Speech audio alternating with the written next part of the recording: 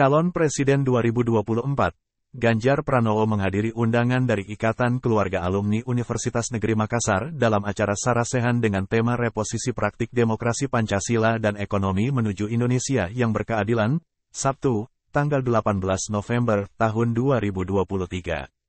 Pada kesempatan itu, mantan Gubernur Provinsi Jawa Tengah tersebut memaparkan gagasan terkait soal persoalan yang dihadapi bangsa Indonesia.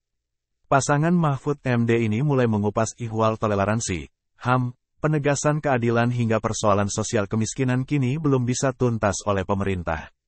Persoalan keadilan menjadi keinginan dan tuntutan masyarakat saat ini, oleh karena itu mereka pasti mencari orang terbaik memajukan negeri ini, katanya. Selain itu, kata dia, toleransi perlu dirawat.